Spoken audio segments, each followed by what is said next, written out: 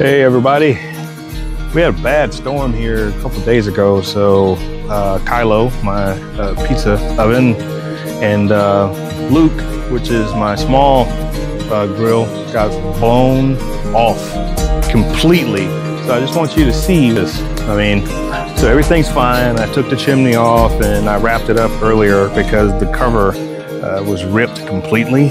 And uh, so that was something, but it's, I tested it, looks like it's working. I haven't actually gone through a full test where I lit up a pizza or anything, um, but the door got bent, so I had to get the tools out and bang it straight, um, but it fits on nicely, so that's uh, good. And then this guy, my baby Kamado, Luke, was uh, was damaged. Well, it wasn't damaged. I mean, that's a lie it uh, was blown off completely, which is surprising because these things are heavy. Uh, I didn't see any cracks. Well, again, once I get some wood in there and smoke it, we'll see what it looks like. Uh, if there's any problems that develop from it, but uh, yeah, it was a problem. So um, that uh, talk about is that the stuff out in the garden, my mini farm, has gone completely crazy. Uh, we had the first day of rain we've had in a long time in the last couple days. Um, but a rainstorm with some bad winds that kind of blew everything around. Um, it took my pergola out completely. Um, if, uh, sorry, took my pergola out completely. So if you live in an HOA, a lot of times uh, you'll find that the pergolas, I didn't have it anchored properly, which is on me, but uh, because I had a pergola, usually the air can flow just like it does on that pergola. The air can just flow through it, but for whatever reason, the cover on top of it, it treated it like a sail and it just moved and blew it away. So I had to uh, chop it down and replace it maybe. So I'm going with umbrellas this time. Like that umbrella went through 100 mile an hour winds over the last few storms and the only thing that happened is that the solar reflector at the top uh, was popped off. Um, I put it back on, looks like it's working, so I'm going with umbrellas. That's an 11 foot umbrella, I put an 11 foot on this side and I think I'll be fine. Anyway, looking at the rest of the garden stuff, uh, so as you can see, mojito mint, regular mint, call it the BP mint, going crazy. This bergamot is not liking, I just planted that and it is not liking where it is at all. So I don't know what to do about that. I might have to transplant it into something else. Could be the soil is too wet, I see. Um, because it gets full sun out here, so I'm not sure what it is. The sage has doubled. I just put this in this weekend and it's already doubled in size as far as what it looks like. Um, and then I've got, you can see the thyme. If you guys remember, it was a little small, little sprig in there. Got a couple weeds, I got a weed out of there. Uh, this mint uh, went, it, it is zombie mint. So it goes from dead and then it comes back to life.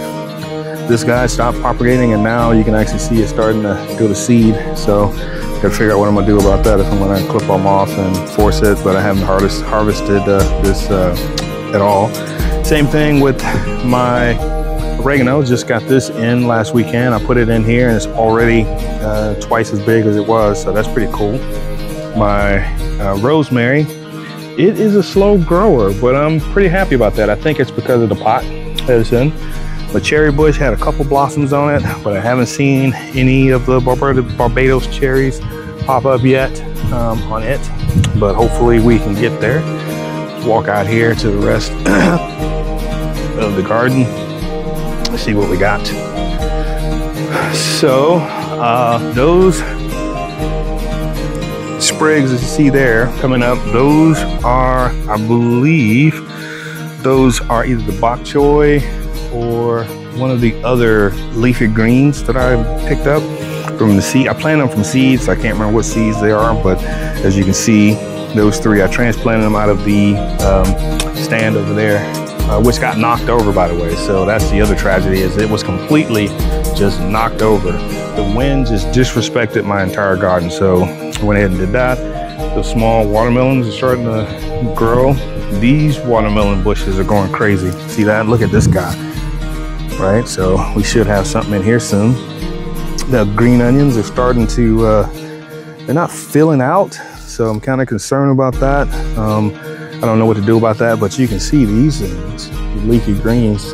This is the, I believe, the purple bok choy. And it's starting to really look well, look nice. And all of my purple oregano has gone to see beautiful flowers. Um, I let it go to seed so it would help with the pollinators, attract them. So there's that. Let's go over to my tomato garden. As you can see here, we got a few tomatoes that are starting to pop up. Let's go on the backside. Look at that guy right there. Got a couple tomatoes. Look at my peppers. And these things are hot, which is, I like hot, and they are actually hot. I wasn't sure what type of pepper it was, but it's hot. This uh, tomato plant is abundant. Now, I say that, but I've got some rocks, I got some worms in here. I have to take care of that. But I've got like all kinds of branches with tomatoes popping up. I got these down here, these big ones. I hope that they um, don't break the branch. You see it's kind of weak. So if that doesn't work, I'll probably just uh, take that group and cut them up and make some fried green tomatoes, put them in some cornmeal. Got this guy here. So the tomatoes coming along well. If you look inside there, you see some more tomatoes. And there are a couple in here somewhere. Tomatoes, tomatoes. So they're all different varieties of tomatoes, which is pretty cool.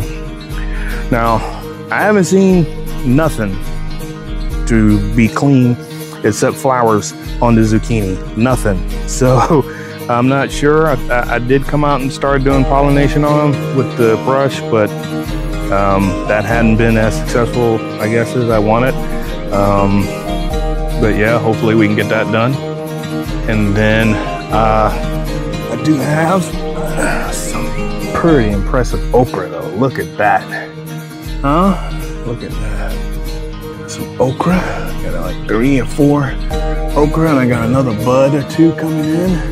So the okra plant is really starting to enjoy itself. I'll tell you, you know who's a savage? Is this damn cucumber. See, this cucumber right here is right here, right?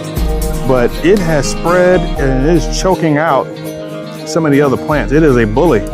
So I've got to get a trellis to put it in or put it in a different pot or something. But it has started to molest the eggplant over here. It is all in the eggplants business.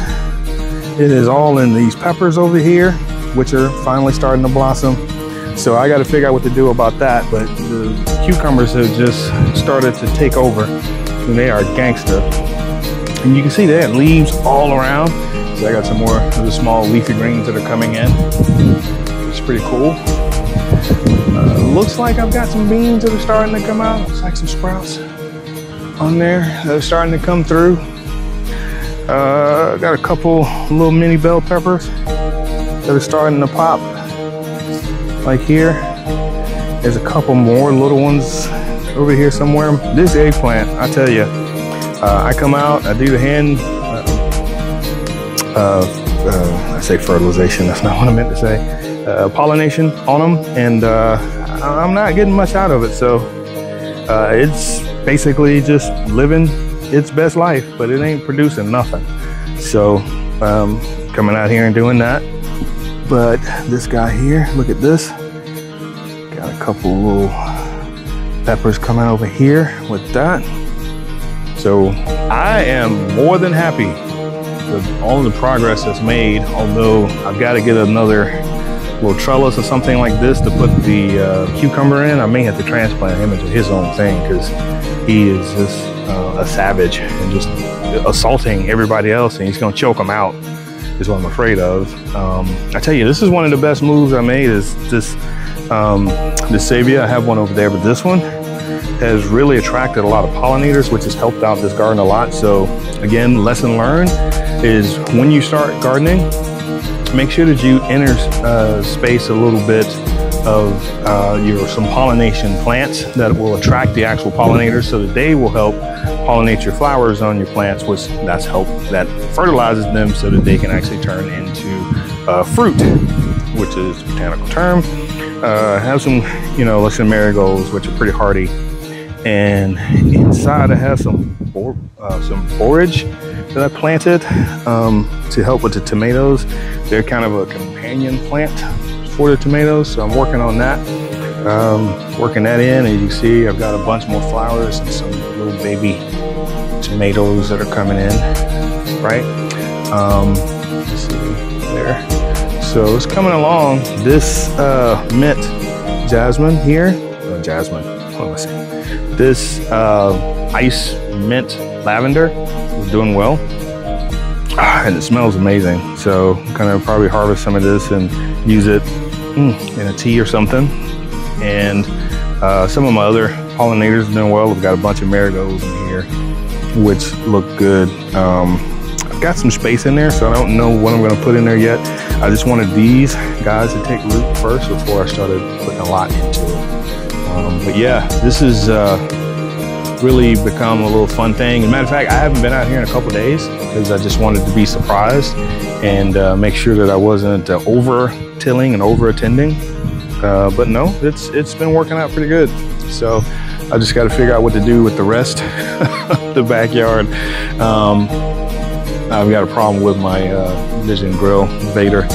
Um, the, one of the mechanisms with Vision Grills is that it has a ash drawer, but the ash drawer is not like stainless steel. It's uh, regular steel, painted steel, and it actually rusted. So it's rusted shut, so I can't get the ash drawer in and out. And while I was trying to get it out so that I can do a cook the other day, um, it uh, there's a small crack starting to form where the drawer goes. So that's tragic. So we'll see. I've already ordered a new um, Kamado. I'm ordering a Blaze Grill Kamado. It's uh, made out of a whole piece of billet aluminum, so that's uh, won't rust. So that perfect. So I guess tomorrow morning, I gotta go in the office tomorrow, but tomorrow morning I'm gonna try and get in, get out here and see if I can uh, do some brush pollination with the zucchini to get something going. I mean, for sure, it's just producing flowers. But uh, yeah, this is uh, going great. Savage. So anyway, thanks guys. I appreciate it. Just wanted to give you a little update on uh, where I'm at with the gardening project. Uh, and uh, yeah, it's uh, going crazy. I'm gonna have to get another one of these, I'll tell you that so that I can put some of this stuff in because the plants have just gotten so big. Uh, I don't know if I underestimated how big they would get. Um, and then got a lot of the same, a lot of plants growing and helping each other, but I, I think I'm gonna have to uh, get another one to spread some of this out. Um, so anyway, thanks, and uh, I will holler at you later.